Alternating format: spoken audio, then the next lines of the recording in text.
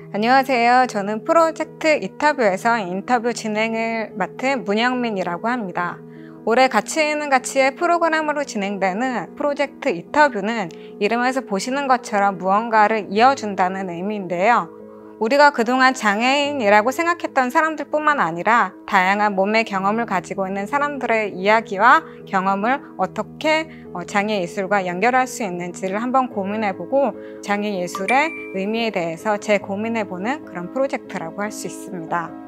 우리가 현재 시점에서 장애예술가라는 사람을 생각할 때 또 다른 전형을 만들고 있는 것 같아요. 저처럼 휠체어를 타거나 시각이나 청각의 어, 기능을 가진 사람들처럼 장애예술가의 범주를 다시 되게 좁게 생각하고 있다는 생각이 듭니다.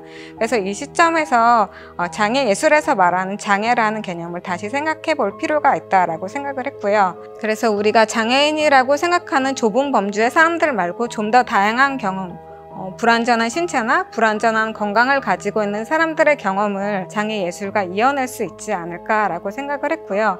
어, 이를 통해서 어떻게 장애 예술의 외연을 확장할 수 있을지 그리고 장애 예술이 가지는 의미를 얼마나 풍부하게 만들 수 있을지를 어, 이 프로젝트를 통해 고민해 보려고 합니다.